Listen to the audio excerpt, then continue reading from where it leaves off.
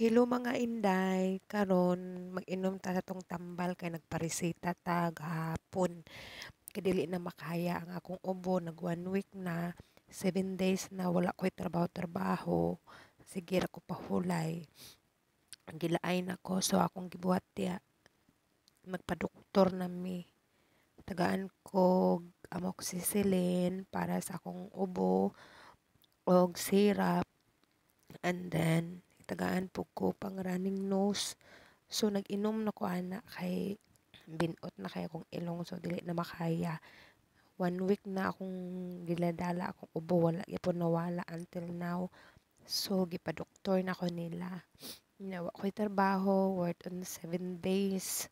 Kung magtrabaho ko, magyaw-yaw sila.